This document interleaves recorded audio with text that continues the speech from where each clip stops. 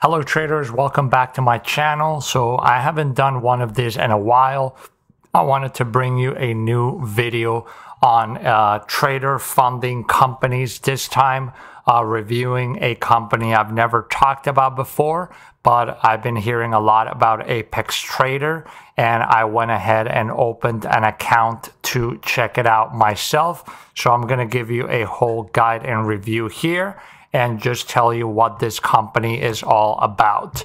So, first of all, here's a table of contents of what I want to get through in this video. I'm going to try to be as concise and to the point as possible to not make it very long. Most of these companies, you know, they all work through Rithmic data. It's a very similar setup process. So even if you're considering other companies, you know, this video might be very informative in terms of just how uh, things work. And then here, if you do want to try them, there is a 50% off discount code in the video description, or I'll pin it in the comments.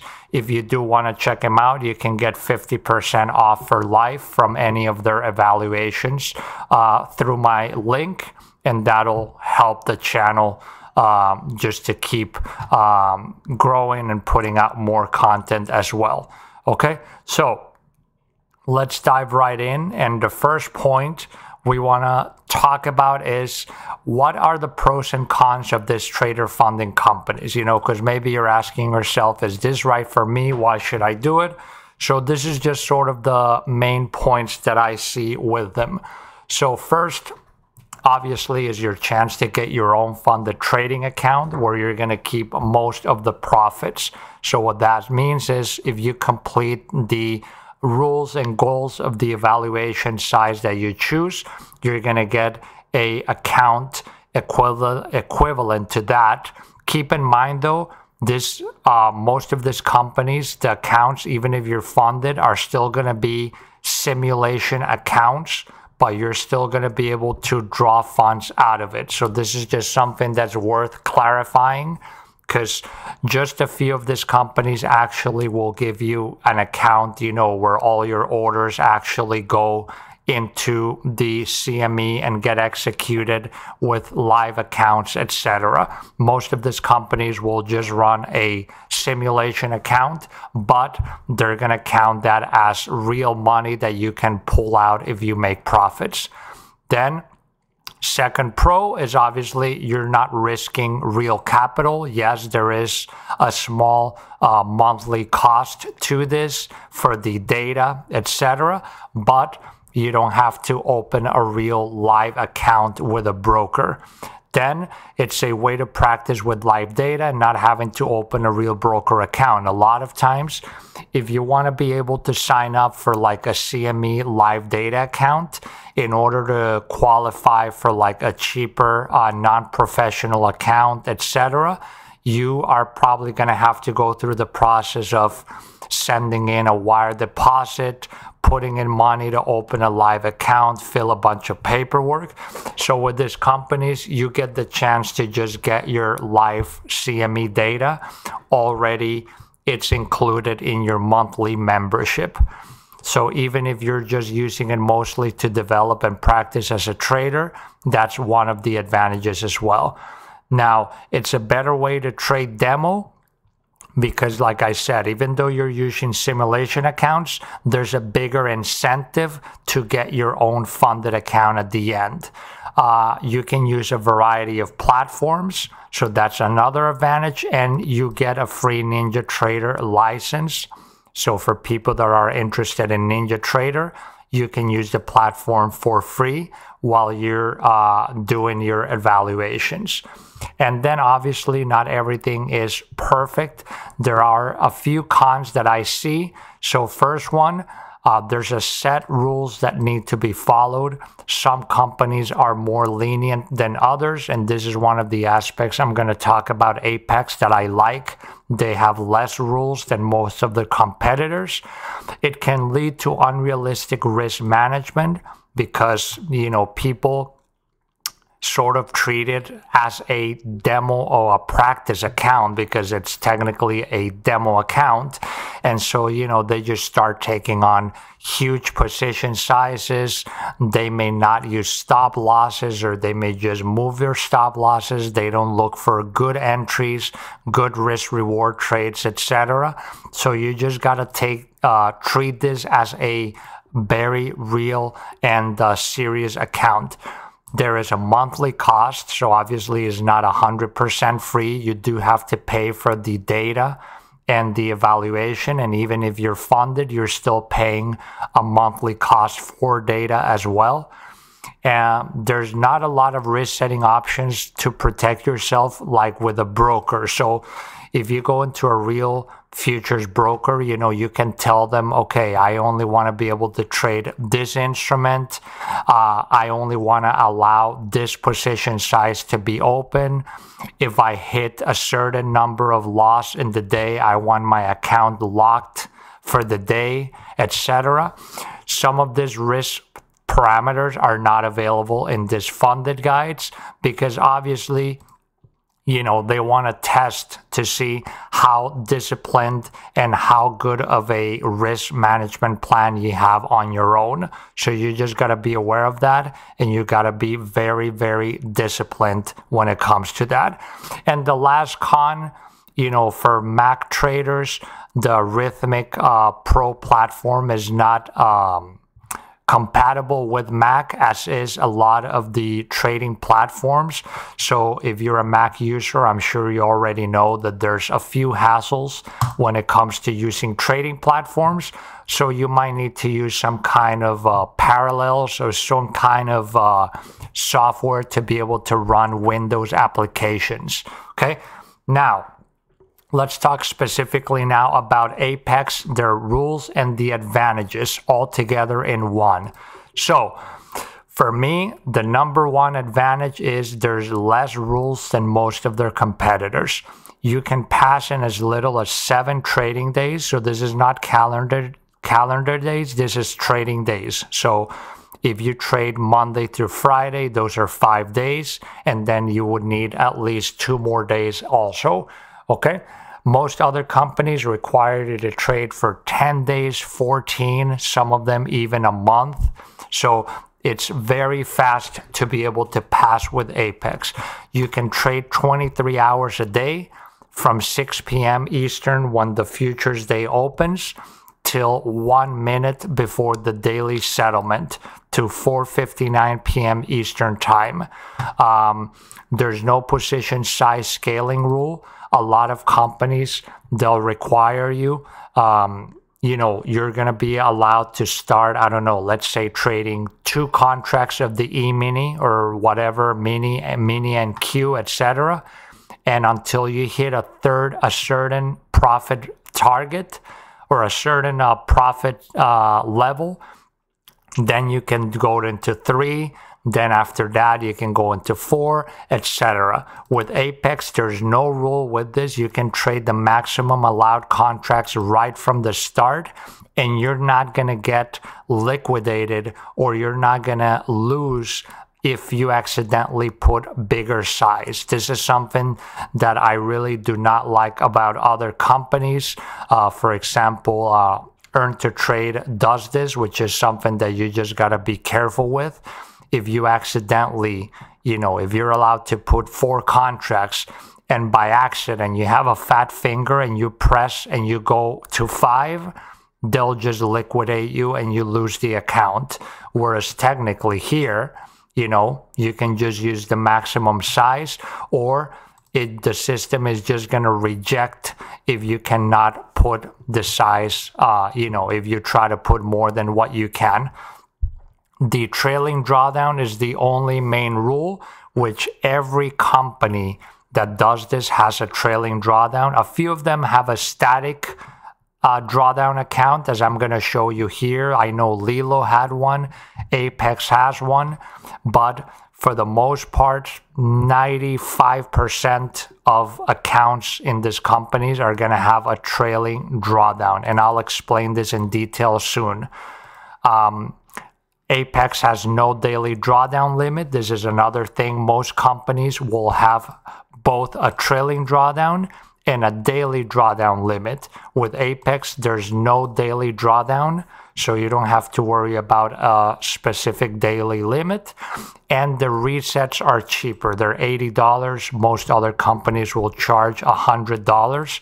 So basically, if you you know, if you hit your trailing drawdown and you get liquidated, if you just want to get back immediately to trade, you can pay an $80 reset and you don't have to wait until your monthly membership renews the next cycle, etc. Okay? Now, account types, I'm not going to go into huge detail on this, but they have eight main accounts and one of those accounts is a static account. So that means there's no trailing drawdown. Instead, of it's just a 625 static drawdown. And it's a little account. You know, you can see your profit goal is 2000 and uh, your drawdown is only 625. So this is mostly an account focused for trading micros because if you trade minis with this, I mean, each point on a mini is $50. So, you know, you can very easily just hit this drawdown using minis. So I would use micros. But other than that, all the other accounts, you know, uh, the sizes vary. Each one has its specific trailing drawdown, its specific goal, and its allowed size so 17 minis or 170 micros, etc. Okay. One thing that I want to point out is, you know, people see this and that is sort of deceiving because they see this and they say, oh, okay, I got a $150,000 account. I can risk 1% per trade. So that would be, I can risk $1,500 a trade, you know, and that's not how you have to look at it your true account size is going to be your trailing drawdown.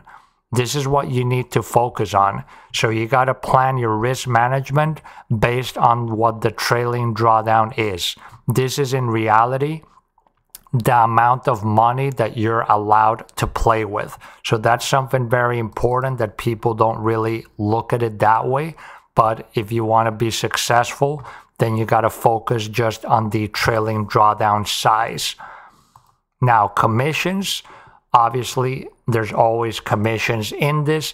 As you can see here, this is for the minis in this side, and then this is for the micros on this side. So if you're trading uh, the S&P 500, the ES, uh, each round trip commission would be 398 per contract.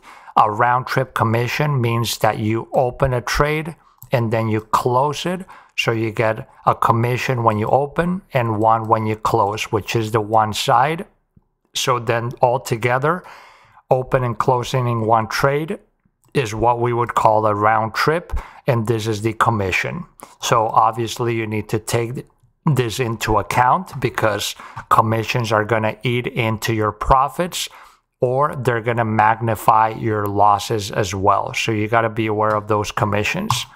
Now, the trailing drawdown rule, I have a whole video dedicated to this on my channel, so I'm not going to go super into detail, but I'll go through an example that they had there on Apex in their frequently asked questions. So let's say you're on a $50,000 account, so your liquidation is 47,500 because your trailing drawdown is 2500 okay now let's say you open a trade and you put a take profit at $500 and it hits it. Obviously we're ignoring commissions for now just for the easiness of the example. So now your balance is going to be 50,500 and your trailing drawdown has now gone up to 48,000 because it follows your live account balance. So it went up $500, just like your balance went up $500. Okay. So now the important thing is your trailing drawdown follows your live account balance.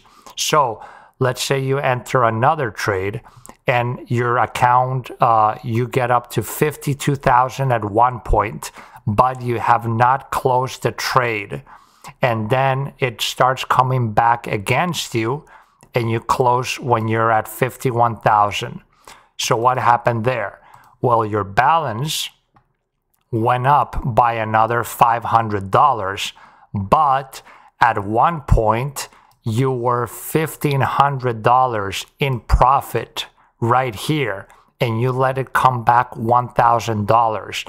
So now your threshold is also going to go up $1,500 to 49,500 even though you only secured um, $500 in profits. You understand? Because this follows your unrealized profits. And so in this case, you let it go up $1,500, but then it came down and you closed at 500, but the trailing drawdown is going to look for the highest equity point that you had in the account. Okay. So this is very, very important. So as you can see, the liquidation drawdown threshold is not based on when you close the trade, but is based on the highest balance when you are in a trade. Um, so, yeah, during your evaluation, the drawdown will not stop trailing until the trailing stops hits the profit target. So that means if you're starting with a $50,000 account, your drawdown starts at 47,500.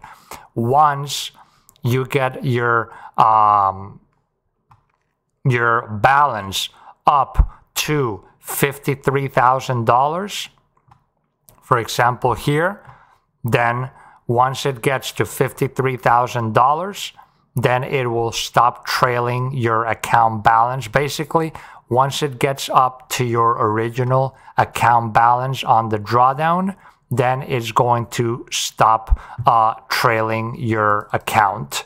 Okay. So same thing here. Like if we go back into here, let's say you're in the um, 100K, the trailing drawdown is $3,000. So that means your liquidation is at 97,000. So once you get this balance over 103,000 and your liquidation price reaches 100,000, which is your original account balance, then it's going to stop trailing and it's just going to stop at 100,000, okay? And that's where it's just going to stay no matter how many more profits you make, okay? Now, the sign up process is very simple. You just go choose your account size that you want, um, put your payment information. You're going to get a few emails. One is going to be just your user ID for Apex site, and you make an account there. You get an email with all the rules that I've gone over already. Then you're going to get on your dashboard, once you set up a username and password, this is your main dashboard in the Apex website. is going to tell you what contract you have, the general rules. Uh, is going to tell you uh, when it expires and your next billing is going to be. As you can see here, I got this with a 50% discount, which you can get with my link as well. So I'm paying half price there. And then from here, there's two things that you need to do right away. First thing, you click on this link here, download RTrader Pro. That's the main platform used by Rithmic. And that's what the companies all use to track your performance. So even though you might be using another trading platform like Ninja, Sierra, etc., you need to be checking RTrader Pro as well, just because all the data that they use is based off of everything that is shown there. And then the next step is this Rithmic setup and key. So with there, if you go into that screen, it brings you here, and this is your Rithmic username and your password. And if you're using Ninja, your license. Okay. So with this username and password, this is what you're going to use to set up your trading platform. So for example, here, if I go into Sierra chart, that username and password, I would just go into file, data trade services. I would choose from the selected services, I would choose Rithmic Direct. Keep in mind, if you use Sierra chart, you need to have Denali activated for this. That means that you're going to need service package 10 or 11, okay? And then once you select this, then you just put your username here, your password and all three slots, and you're going to, from the server, you look for Apex and whatever is closest to you, and you click apply all, and then you're going to get this green bar indicating that you're connected. But basically, that username and password that you get in the sign up process, that's what you're going to use to connect any platform you're using to Rithmic. Okay. Now, once you download RTrader Pro and you open it, you're going to get a screen like this. And over here, I recommend you highlight remember me so you don't have to keep putting this every time. You're going to put your user ID, your password. You're going to select Apex from the system. And again, just select the city that is closest to you. If you're a first time user, you're going to get this window here where basically it's two agreements for the data and also the certify that you're a non-professional so you get a cheaper data feed and you're going to need to sign them. Once you sign them then this is just going to turn green and then you are good to go. Until you do this the Rithmic data is not going to be activated. So if you're a first time user make sure you do that. Now inside the rtrader pro platform when you open it and you sign in you're going to get a bunch of icons here on the left. In reality, only the only four that I use are the four that I highlighted here. Recent orders, just to check what things you have pending. Positions, so you can check anything that you have open. This is important too because if you're, let's say, if you have a trade open and suddenly something happens to your trading platform and it freezes or shuts down and you have a live trade and you want to close it and get out, you can open RTrader Pro, go to positions, and then you're going to see there's going to be a line with all your order details and your position, and there's going to be a little X on the left here. If you press that X, that's going to close any positions you have open. So you can close positions right here from RTrader Pro. So that's an important thing to know. Then your order history. Obviously, this is where you can check all your transactions and everything and look at statistics. And then your Apex Trader dashboard is going to take you into this screen.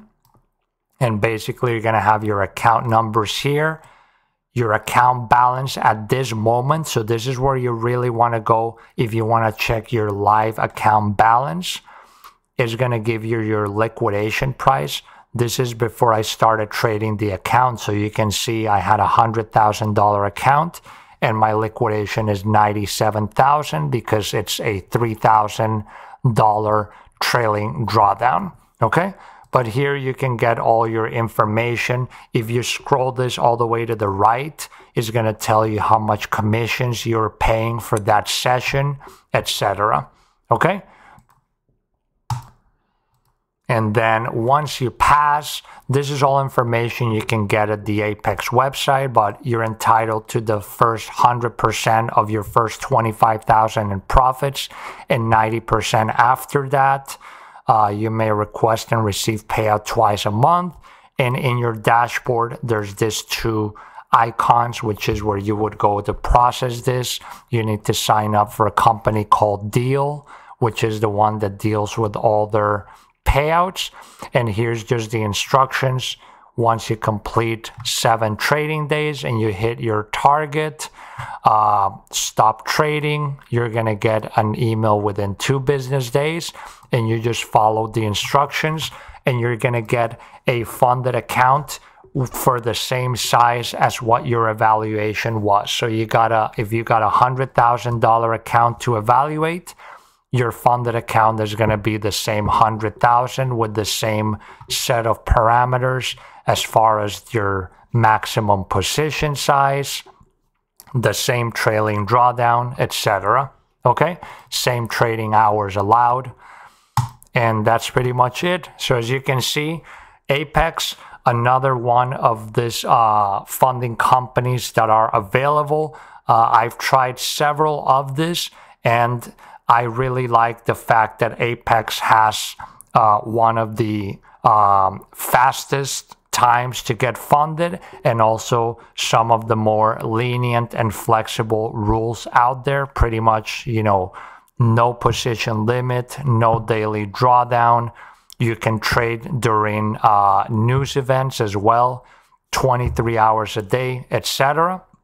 So if you want to check them out, they have a really good uh, frequently asked question on their website as well. You can get all your answers there too. And again, if you want to get 50% discount on the evaluation, please consider using my link and with this coupon code, you get a 50% off any evaluation for life. And yeah, that's pretty much it. If you have questions or comments about them, let me know in the uh, below. Make sure you subscribe to the channel, notifications on so you don't miss out on any of the content in the future. And I'll see you all in the next video. Take care.